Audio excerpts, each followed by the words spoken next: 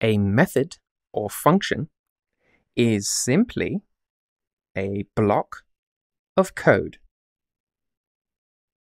That's all it is. But to understand that properly, you have to go back in time. In the old days, we used to write code very procedurally, and that simply means we wrote line after line and we proceeded down the line like that. And that was all well and good, but you can imagine that what if we wanted to write another block of code that didn't have this element?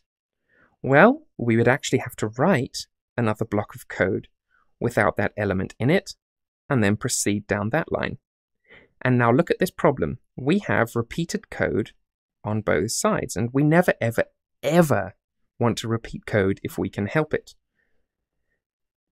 So, what a functional method is, it's the same kind of idea, except each of those bits of code is contained inside its own function or method. And why is that a good thing?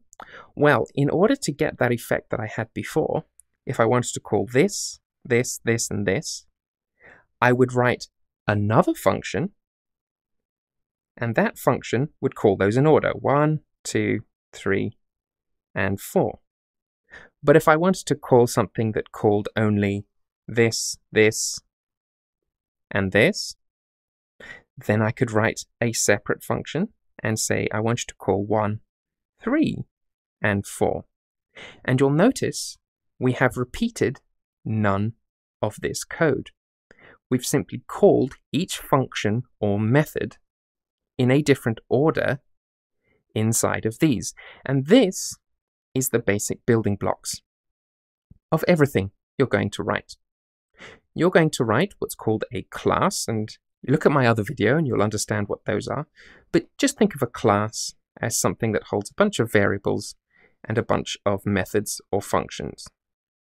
So I've got my class here. And then inside of the class, I could have another method here. And this method would call method 1, 2, or 3 and do some kind of functions to it, some kind of maths, whatever it is, it doesn't matter. And I would never ever repeat methods 1, 2, or 3, would I? So that's the whole idea behind methods and functions. It's to hold a bit of functionality inside of a self-contained module. Now, what you see these days, and it's very bad practice, is you'll see a method written like this and like this, and someone might have, you know, 200 lines of code in it. And this is going back to procedural programming.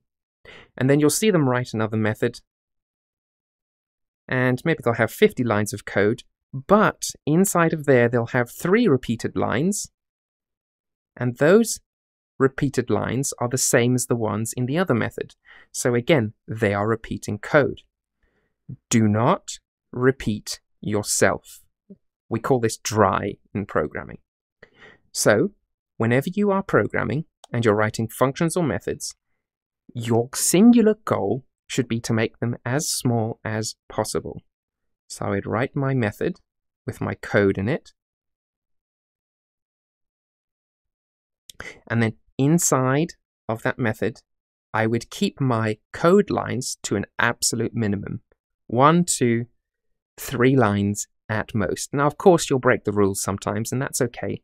But if you aim for this, your programs will be much more portable and much easier to debug, actually, versus when you have something absolutely ridiculous like this.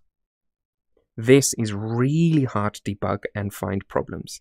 So I've just saved you probably a few months of time over your lifetime by telling you to make your methods and functions as short as possible.